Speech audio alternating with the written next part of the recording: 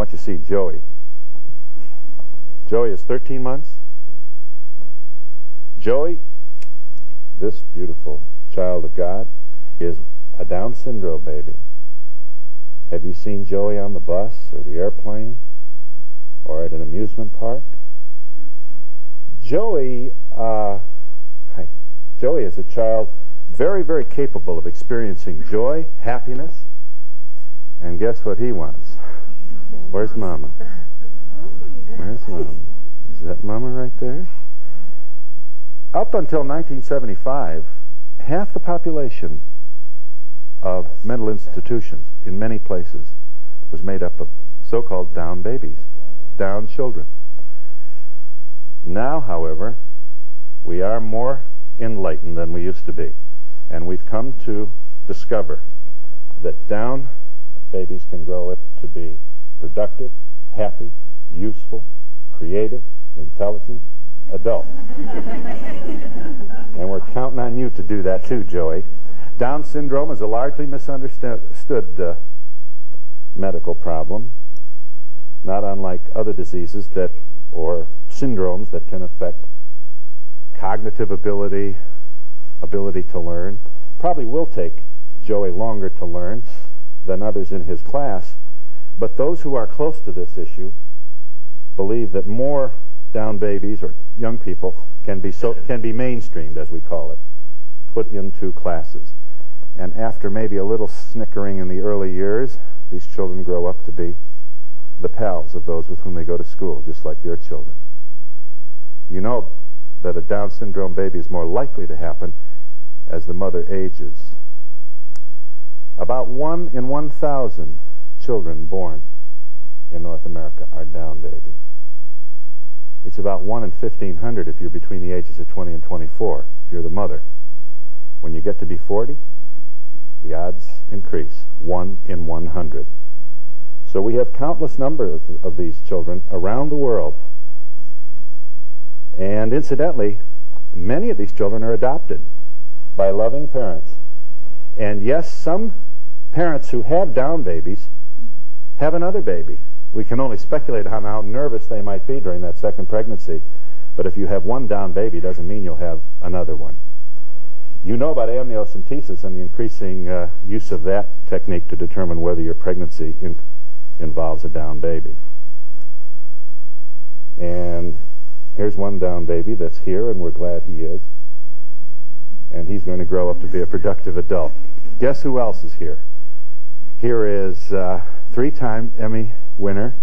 You've come to know and love her on Cagney and Lacey. You also know she's Lacey, and I want you to know she stars in a movie of the week in which she plays the mother of a Down syndrome baby. Please welcome Tyne Daly.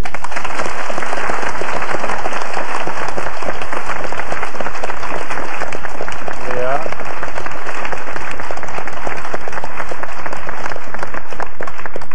Well, you're a hit, kid. You don't have. You can just sit there like. Uh, just be regal for the uh, for the year. Among other things, this is a very honest movie. You uh, you're apparently a, uh, your character in this film is a uh, which incidentally is a CBS made-for-TV film which will air in November eight eight eighth. Uh, you're a you're a real go-getter, not unlike uh, the role you play as a cop. you're a can-do person, mother, achiever, supermom, and whammo. And like a lot of parents, you really weren't sure what hit you with this child. And you go from, I can fix it, I can do it, no matter what it takes, to a recognition of you can love and you can help a baby like this. But you've also come to the realization that this is no picnic. Yeah. Our, our intention in the film is to be very straight and not to, not to uh, uh, pour any oils on the water. I, I have a particular and abiding loathing of categories. I think that it's very important that we look at each other as individuals. And what has happened in, through history is that we've looked at, at, people with Down syndrome and given them a name, a false name like Mongoloid, or the village idiot, if you will, hurtful names. That non-persons, they used to call them. Non-persons. Uh, uh, and, and I think that uh, the story of, of uh, Joanna Goodman, as we call her, who is in uh, disguise as Emily Kingsley, and other mothers that Emily has known. She's the expert here. Um, her journey in terms of acceptance is a very interesting one to me because she she begins to see her her child as himself, and uh, I think that it behooves us all to look at each I- other as individuals. I do too, and we should. Uh, I know you don't. Uh, you don't want uh, necessarily the Nobel Prize for this because you're doing what you love to do, and that is to not only create illusions as you do so well as a performer, but also uh, every once in a while a script comes along that you apparently really want to just throw yourself right into, and this is one. It's titled Kids Like These, and its author is Emily Pearl Kingsley. Uh, which is based on your experience. You have a son, uh, Jason, who's 13. Yes. You know about the. Uh, was this this your only child? I have two big stepsons from my husband's first marriage, who I think of as my sons, but they are This grown and married. This is my one and only child. Biological, as we might say. Yes. Sounds so impersonal. What did the doctor say? Incidentally, uh, how long after the delivery of your child did the doctor say anything? Uh, we were told that, as my husband was told, which is itself considered a no-no nowadays, it's now accepted that you tell the parents together. So this particular doctor made every mistake you can imagine. He told my husband and, and gave him the terrible job of coming and telling me. Uh, this happened about 12 hours after the birth, but we know many families who are told on the delivery room table. The, ba- the baby is just barely out of the mother's body, and the, the news is being broken to them. So, so was it was your your husband then who told you? Mm-hmm. I see. Uh, was there any sensitivity at all ex- exercised by the physician who told your husband? None whatsoever. What did he say? he told us that this child, first of all, he used the antiquated term mongoloid, and he said that this child had zero potential. He would never walk, he would never talk, he'd never think, he'd never read, he'd never write. He was Put going him to in an institution before. and tell our friends and family that he died in childbirth. Go Uh, and this uh, this audience is gasping. As a matter of fact, this was uh, rather common, was it not? A drama i i with regard to this particular birth anomaly. A lot of doctors would just quite literally drop the tools and run from this. Exactly. I'll hand you over to Diane Crutcher, who had the identical experience on the other side of the country and was told the same the same thing. Let's talk to Diane Crutcher. Diane is executive director of the National Down Syndrome Congress. You have a 13-year-old daughter, Mindy, uh, whom we'll meet in a moment. Uh, we'll also meet uh, the Kingsley child, uh, Jason, child, I should say, a young man. He's 13. Uh, tell me about this, Ms. Crutcher. You were uh, 13 years ago. What happened? Right. Uh, my husband and I were 25, expecting our second child, and expecting everything to be as it's always supposed to be. We all we all think these things happen to other people, and we found ourselves actually just about opposite of, of Emily's situation. The doctor told me, and he used the antiquated term, and he suggested that we not bother uh, because nothing would ever do any good. She would be a vegetable, an idiot. She would never know I was her mother. And those were his closing words as he threw the papers for institutionalization on my bed.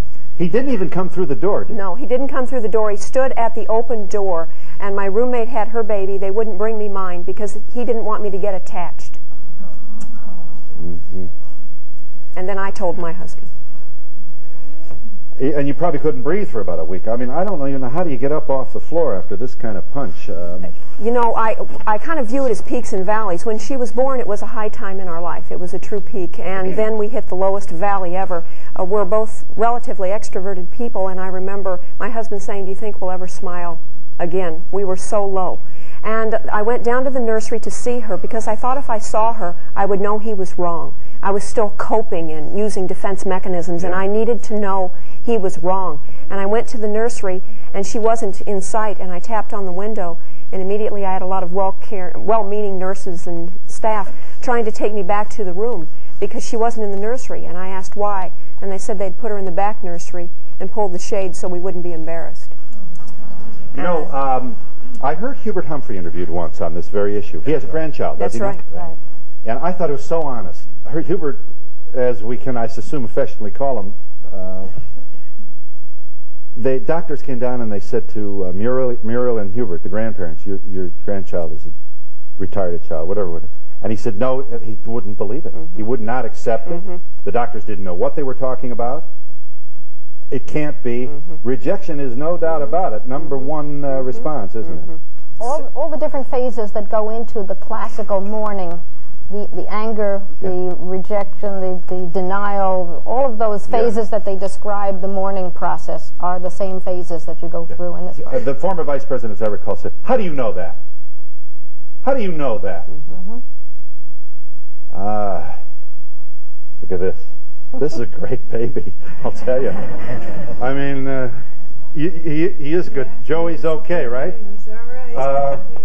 And at three in the morning, he's sleeping just like all uh, all of us are supposed to be. Is that so, or is he? Tell No. no. All right. well, you've got to be honest about this, Mom. Uh, tell us what's. Uh, take the mic from uh, him there. What's different here? I mean, just tell us some of the challenges. Well, I don't know if everybody knows, but Joey is our adopted son. We adopted Joey when uh, in June 23rd of this year, and he's just the love of our life. And um, he's just like any other baby. I mean, it'll take him a little bit longer to learn things, but we just love him to death, like pulling ties. you can see he's perfectly normal. But how soon? How? What's in? I don't have a mic here. You, now you're the host. How soon? Um, when do you get the whole picture? In other words, you don't know when. You're not sure yet how he's going to, how well he will be able to keep up with his so-called peers who would fall in the average uh, educable level. Uh. Well, nobody really knows, even with, uh, I hate to use a cliche, but your normal children, no one really knows. And we just take it day by day. I don't set any high priorities for him, and we just love him to death. Yeah. You know. Uh, you, uh, you're getting very good at this. A little too good if you.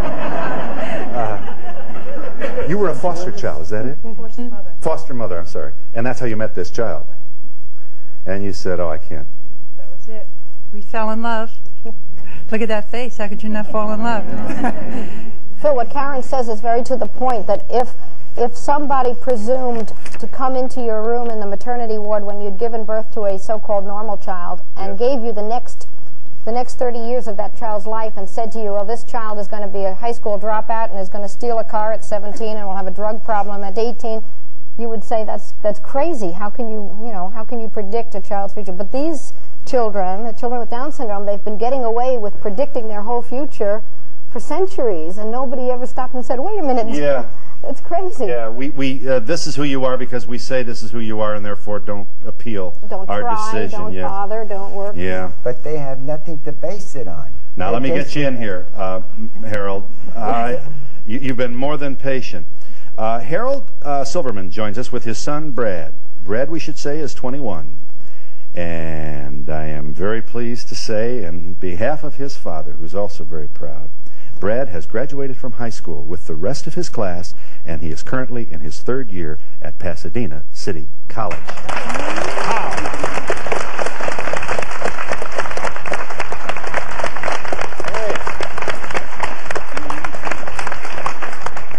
Tell you this, uh, you did real good choosing parents, I'll tell you that. um, well, tell me something about this, Pops. Now, you've had to, uh, or Dad, whatever the word may be. Uh, first of all, you had to deal with the first, the, the information. There Huh? was no information. None. 21 None years ago, what? Middle There was Ages. Nothing. Nothing. Really? Everything that you heard everyone else say, we went, that's what they told us. Yeah. Harold, please institutionalize him. It'll be the best thing. Forget Gadavatis. He ever was born. Yeah. He's, he will he will live maybe to eight or nine years, maybe. He uh, he'll never be potty trained. He'll never be able to read or he'll never be able to walk. What do you want to take him home for? Yeah. Well, I was too stupid. I, I couldn't grasp this. I'm Herbert Humphrey, or whatever his name is. Hubert, yes. Hubert, The vice president, yeah. Right. I, I couldn't uh, understand that. You did the same thing that, that Humphrey did. I understand, yeah. I got two normal boys. They're 45 and 41 now. That's your third child. It's our third child. Normal. I mean, I couldn't believe that such a thing could, could be. It's impossible. Let's put it that way. So I said, no, forget it. And we're taking him home. And I said to my wife, what should we do? Nana. And she said, we're going to take him home. He's going to be like a, every normal, we're going to treat him like every normal child. Yeah. He's going to be like the one of the family. He's not going to be any different. And that's it. Make sure he's like everyone else. Treat him like everyone else. They're going to be slower, but they're not mentally crazy. There's nothing wrong with them. They're just slow. Right. Nothing which, more. Which is uh, an adjective used by not a few of my own teachers uh, about me. Uh, Brad, uh, you're at uh, Pasadena City College, uh, and where'd you go to high school? Pasadena High School. Yeah. And what was that experience like? Was it good? A lot of buddies and you had pals? Oh yes, in fact, um, I have a b- big brother to me in high school. His name was Ivan Harris, and um, she, she was she was behind me. You know, our friend. How she um helped me. He stood. He kind of was your pal during high school. Yeah, she stood up for me. Uh, Pasadena High. Does Pasadena High have a football team? I got Pasadena High School Bulldogs. Yeah, are they any good? Uh, so so. Uh, and uh, how's everything at Pasadena City College? Okay, so far, Yeah. Well, uh, so far you don't expect problems. No problems at all. Yeah.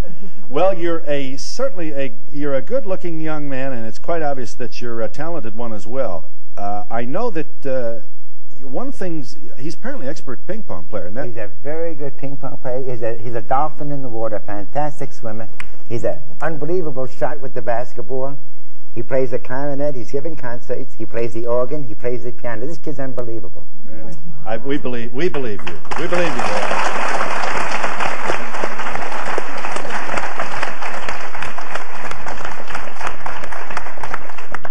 Is Jennifer here?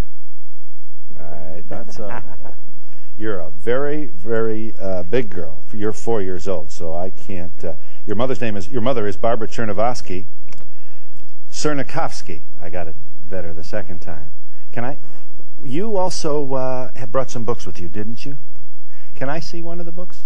Which one is the favorite book that you have? Can I see this here? Um, read it yourself. Old MacDonald's Farm. Would you? Could you read one page for that? From that for us? Okay. Okay. You find the page that you want, darling, and we'll we'll just wait for you. Okay. Uh, could, would you would you read what that says right there for me? What does that say?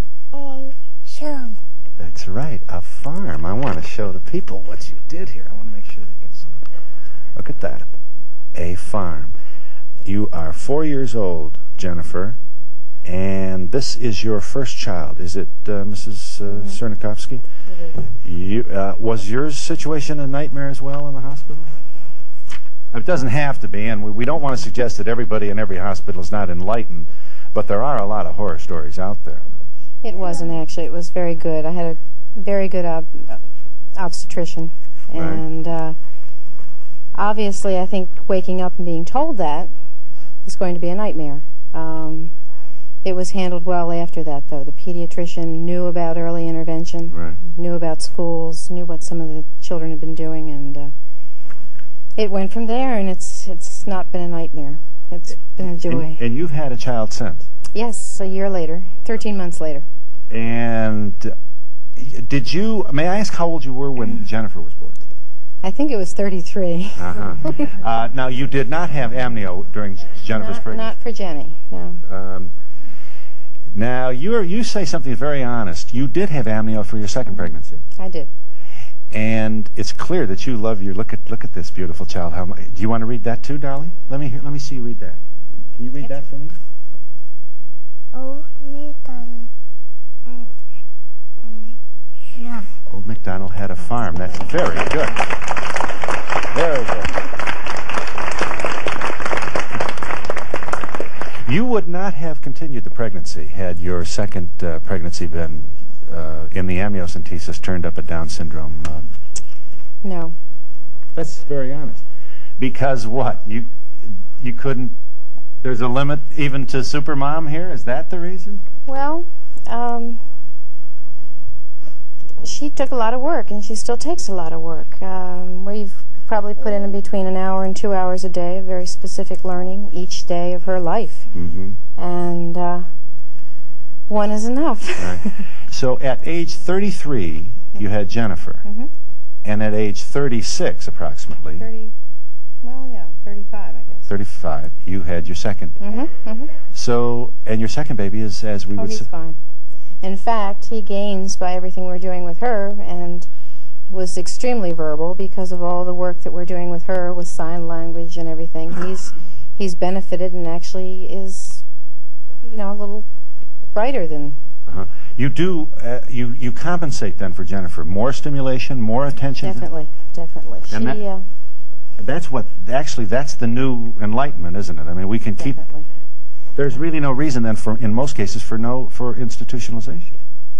I don't think so. I think the the more time that you can really put in in the early, very early years, and really opening that mind up and making it curious, um, the better off the child is later. And and just to get schools that really do understand the fact that these kids can learn and they are a little slower in learning.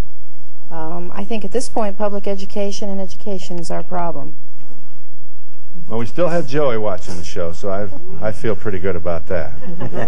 he hasn't left us yet, has he? Huh? Well, one Um, of the biggest problems that occurred in the perception of people with Down syndrome is because so many of the textbooks and so much of the written material came out of institutionalized samples. People who were writing these texts were going to a situation in which There was no stimulus. None at all. And that, therefore, what you would read about in texts was not descriptive of Down syndrome so much as it was descriptive of the results of institutionalization. We've been joined by Jason Kingsley, uh, and you've just met his mother, Emily. J- has, was Jason mainstream, as we say, or not? Or- Jason spent his educational career up to this point in classes which are designated for kids with learning disabilities, which is itself considered a real accomplishment. It's children who are essentially regular kids who need a smaller class. I know that, but I'm not sure there's a parent gets through uh, school today without, if he's got any number of kids at all, without an LD kid. I think it's an alphabet soup, uh, whatever this means. LD, Absolutely. learning disabled. What this means, though, is that But we this is a victory for down families. Exactly, because they are ordinarily they're shunted into trainable classes where they're you know, I I don't mean to put down trainable classes. There are a lot of kids who do very well in trainable classes. Our problem was when he was they tried to put him in a trainable class without seeing what he could do first. Right. And uh, Diane Crutcher's uh, daughter, Mindy, joins us. We're so glad you're here, Mindy. We should say that you are 13 years old. And uh, you, I know you're proud of your mother as executive director of the National Down Syndrome Congress. Mindy and Jason and the other uh, children who are have joined us today are living testament to the fact that here are people who rely only on the love, understanding, and the absence of ignorance of the communities in which they are born. We have demonstrated already that these children are very, very loving and also certainly capable of learning. We are also joined by Georg Stanford Brown, who is the producer director of Kids Like the, These. Here's the man who uh, brought this to the screen.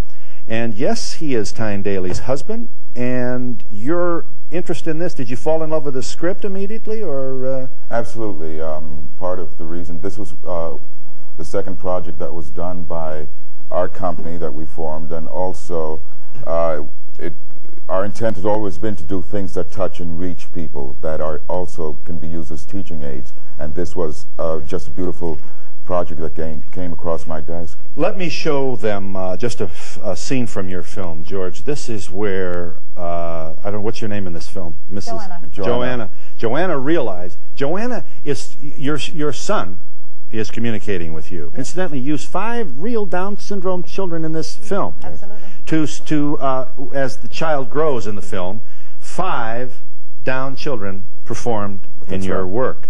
Here's this. Here's your child saying to you, "Who, in effect, who am I?" He's beginning to question himself. Yeah, uh, uh, a Down syndrome child certainly is educable. And then we have to deal with this catch 22 of the more educable and aware beco- they become, the more they realize the nature of their own difference. Yes. And how shall he and the parents deal with that? This is very compelling. Watch this scene. Mummy, color face store. I want to order a new face. Not like this face. I love this face. I was so proud of you tonight. You helped all those people so much. All those people with Down syndrome kids. Mommy, Yes, darling. I'm sick and tired of this Down syndrome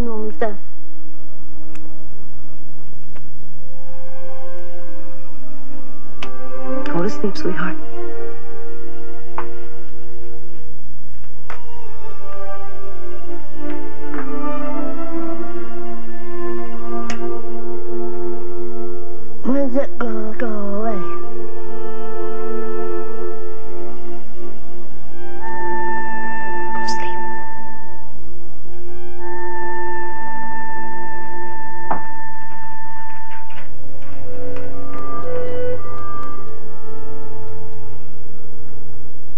This is about an extra chromosome, isn't it? Right. People with Down syndrome, typically the most common form of Down syndrome, they have uh, three number 21 chromosomes. Most of us sitting in this room have two. Our kids have 47 chromosomes, three of which are trisomy 21, number 21. Trisomy 21. So the presence of the third chromosome in the pair 21 will all be geneticists before the end of this century, I hope.